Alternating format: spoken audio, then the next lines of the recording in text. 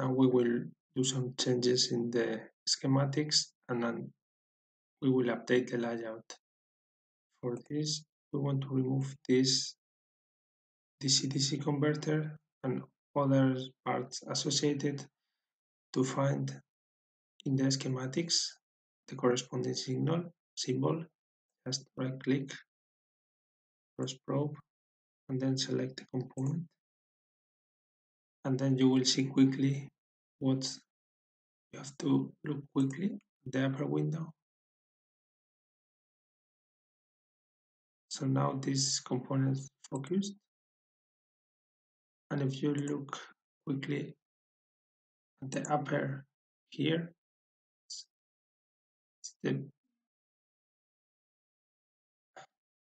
three aux aux regulator 5 volts. So we go X ESC to leave this mode, selection mode, and then go to aux regulator 5 volts. So this is the component to remove. But this component is in this case in some hierarchical block, which is here. This hierarchical block is used when you want to reuse the same schematics several times. So the name is called the same as the schematics. So this hierarchical block has name aux regulator 5 volts, SCH doc, which is the same name as here, aux regulator 5 volts SCH doc. So okay, we want just to we could use this block in several parts but we just in this case want to remove it and then update the layout so just want to remove. Okay just these 5 volts and all the associated connectors to it. So I delete everything but I still have here schematics page, but I don't want it anymore. So I just remove it from project. Yes. Now I can save